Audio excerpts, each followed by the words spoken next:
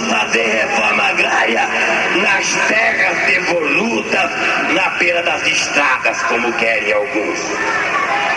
Nós vamos fazer reforma agrária é na terra dos latifundiários desse país.